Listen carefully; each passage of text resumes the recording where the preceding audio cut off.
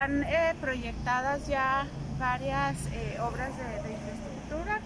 Una es en, Romanza y luego eh, algunas adecuaciones adicionales y, cosas anexas o adicionales al, paso a desnivel ahí en, lo que en la última obra este del puente de de Valle Escondido, perdón, de Valle Escondido. Y bueno, obras adicionales también, pequeñas obras, como se, dijo el año pasado también.